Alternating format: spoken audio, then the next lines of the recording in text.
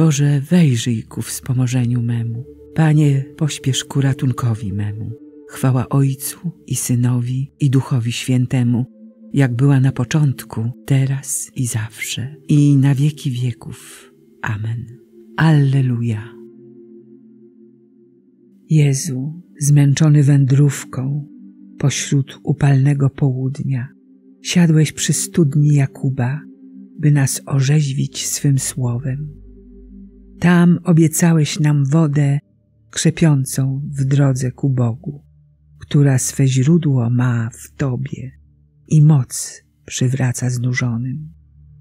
Z Tobą, dla Ciebie i w Tobie pragniemy dzień ten uświęcić, aby nasz skromny wysiłek wysławiał Boga z radością. Ojcu i Tobie, o Chryste, z Najświętszym Duchem miłości, chwała niech będzie na wieki, a pokój ludziom na ziemi. Amen.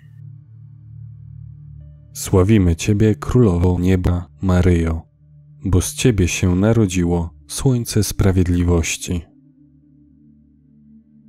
Do Ciebie wznoszę oczy, który mieszkasz w niebie, jak oczy sług są zwrócone na ręce ich panów, oczy służebnicy na ręce jej pani, tak oczy nasze ku Panu Bogu naszemu, dopóki się nie zmiłuje nad nami.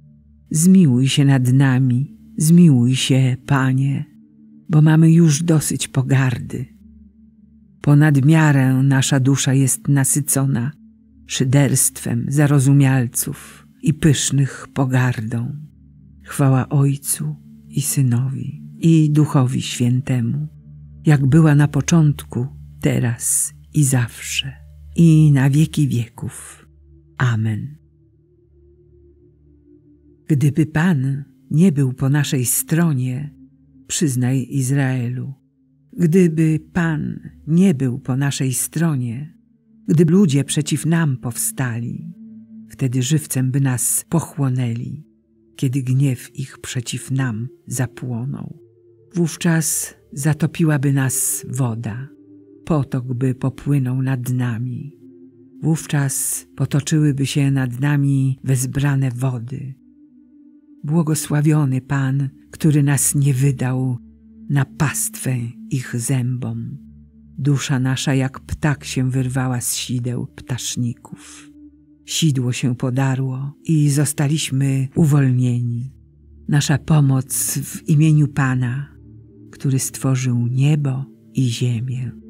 Chwała Ojcu i Synowi i Duchowi Świętemu, jak była na początku, teraz i zawsze, i na wieki wieków. Amen. Ci, którzy ufają Panu, są jak góra Syjon, co niewzruszenie trwa przez wieki. Jak góry otaczają Jeruzalem, tak Pan swój lud otacza, teraz i na wieki. Nie zaciąży berło bezbożne nad losem sprawiedliwych, aby prawi nie wyciągali rąk swych do niegodziwości.